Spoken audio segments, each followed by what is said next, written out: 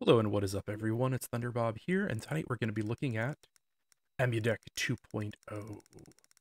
Uh, this is a really, really awesome tool used for setting up the Steam Deck for use with emulation.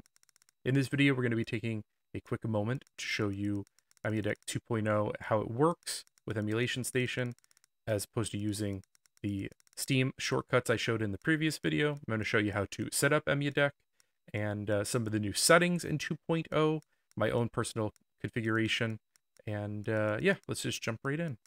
Okay, to start with, you need to install EmuDeck on the desktop side of the Steam Deck, which will put a link on your desktop that says EmuDeck.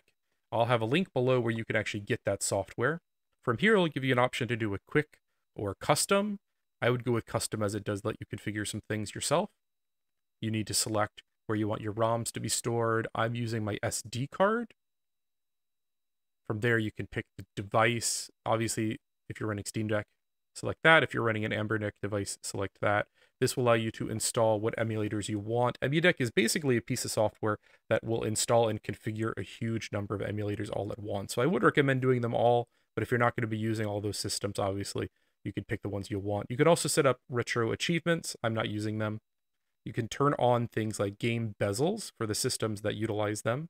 I would recommend turning them on rather than having just the black space to the sides. You can uh, set up custom resolutions for certain systems, 4x3 or 3x2. Uh, 3x2 uh, is uh, stretched a little bit. It really depends. Some of these systems, uh, I feel like going with the stretched look actually is better. Some of them, it's not. It's kind of personal preference. Super Nintendo is the same way. You can go with the original resolution 4x3, 3x2, or 8x7. From there, you can also set up the aspect ratio for 3D systems. This is kind of nice. I actually like the 16 by 9 for these systems. I know it's not true to the original release. I think it actually works pretty well on these 3D games. Same thing for GameCube. I run 16, 16 by 9 versus the 4 by 3. A lot of GameCube games actually had widescreen options available. You can turn on shaders for the handheld systems. This is LCD shaders, and then you can do CRT shaders for the 2D console games. I actually like the shaders for the most part for the 2D games. I usually turn them off, however, on the 3D games, as I feel like they don't actually help as much with 3D games. I think the 2D games really benefit from them. There are different themes available in Emulation Station. I like this simple one. From here, it's going to complete your installation. This will take a few minutes to download set up, configure all of the emulators. You just want to let this run. And when it's done, there's a button in the bottom right if you want to do the Steam ROM Manager, which I initially used and I showed off in the previous video, which I'll link below. Uh, I've stopped using it mostly because there were so many icons in Steam, it was kind of becoming overwhelming. And I prefer all of my emulated games in one place in Emulation Station versus having them appear in my Steam library.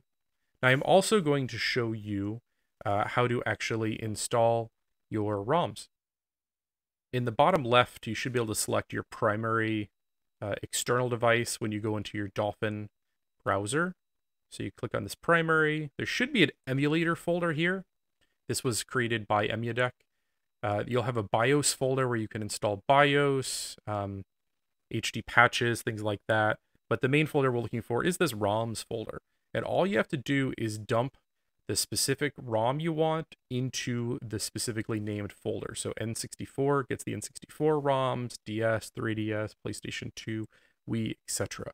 You just drop the ROMs in here, and that's really all you need to do to get them set up. And from there, you can actually launch back into game mode. You can go to your library, and there should be something under collections called emulation. Inside there is emulation station, which you'll launch may take a moment the first time you launch it. And here you are. You've got all of your systems you've installed, all of the systems we can configured. And there is a scraper here, which you can select which systems you want to scrape. And it will automatically find the art for all of your games. One other thing is you may want to um, come in here and tell it what to scrape. Uh, for me, I only did artwork. I didn't scrape videos just because I was concerned about the file size, but uh, the images they use are not all that sizable. Even with, you know, hundreds or thousands of games, it's probably not taking up a huge amount of space. And you can see here you can turn on and off what content is utilized.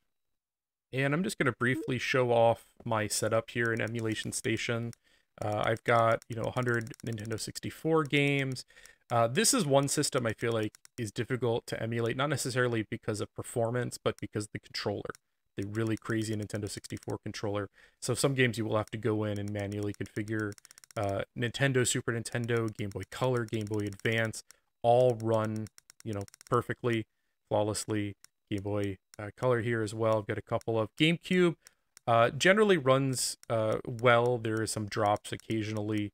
Uh, Super Nintendo again runs really well. Just showing off. Got uh, 138 Super Nintendo games here. Nintendo Switch. This is another game system that's a little bit hit or miss. Wii runs pretty well. Dreamcast runs almost flawlessly. Genesis, perfect. Ton of Genesis games here. It's a fun system. PlayStation, PlayStation 1 runs really well. PlayStation 2, Tony Hawk runs really well. I showed it off in a previous. Now I'm going to spend just a couple of minutes showing off a few games and some of the new uh, changes for EmuDeck 2.0. Like this is a GameCube game utilizing the um, widescreen option. By default, you don't have to go in and change anything if you selected that during the EmuDeck setup. You can see the performance here. Generally, it's 60 FPS there are a couple of drops when you're driving around in, in some of the more hectic scenes.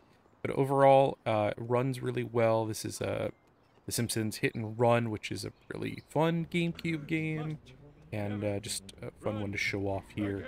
Uh, you can jump right in the vehicle, and it's almost, it's not quite Grand Theft Auto, but they've got uh, some Grand Theft Auto-like aspects. You can see some frame drops there on the on the graph.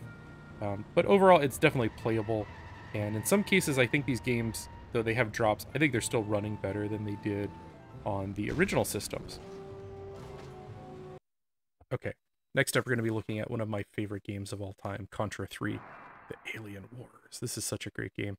And I wanted to show this game off specifically for the CRT shaders that I had enabled. Um, this is uh, something you can just turn on in the menu, and I think it is a huge improvement. On these old 2D games, Nintendo, Super Nintendo, uh, Genesis, they were made for CRT televisions that had scan lines. And I think in a lot of games, in most games, it helps uh, make these emulators look better. Uh, these games and the art was designed with scanlines in mind, and I think it helps fill in the gaps that the low resolution oftentimes, um, you know, uh, couldn't handle. Um, if you look at some of the old art for these games and like people have taken shots and it's like here's what the game looked like on an LCD and here's what it looked like in a CRT. In most cases, the CRT actually looked better. Um, and I think for the 2D systems in particular, these uh, these uh, CRT shaders are actually beneficial. And here's another Super Nintendo game, Zombies Ate My Neighbors, using those same CRT shaders. And again, I think it definitely uh, is an improvement with them enabled versus disabled.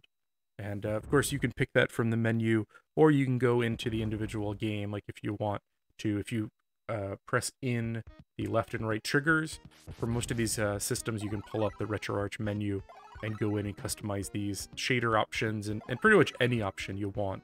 Controls, um, graphics, resolution, almost everything can be customized uh, on a game-by-game -game or system-by-system -system level. And again, one of my favorite games. I love Zombies Ate My Neighbors. I wish I still had the cartridge. I lost it over the years, but this is just a, a really amazing Super Nintendo game. I would definitely recommend checking this one out. And lastly, I'm going to show you um, another really, really great classic game. This is Castlevania Symphony of the Night. And I want to show this off because I disabled the CRT shaders for PlayStation games because I don't really like them on the 3D games. But there are some 2D PlayStation games, and this is the type of game that you might want to go in and manually enable them if you like those CRT shaders. Uh, you can see here that the CRT shader is turned off because that is how I had it set in the menu. So it's kind of um, a personal preference here. You could go in to the settings on the individual emulator and enable these because there are probably some games you may want those shaders on and there's some that, you know, they don't really benefit much from. So this is another game that, you know, maybe you go in and, and turn it on versus having it disabled on an entire system level. All right, well, I'm going to end the video here.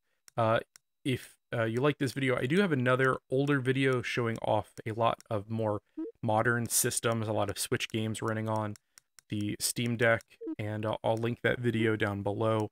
If there's any specific games you want to see, setups, or anything, let me know. Uh, I'll be happy to try to, uh, to provide that. Uh, if you like this, I have a number of Steam Deck videos on the channel. I have a number of uh, VR and modern games and retro games. So if you like what I'm putting out there, please do like, subscribe, drop me a comment with your thoughts. And again, just want to thank everyone for watching and have a great night.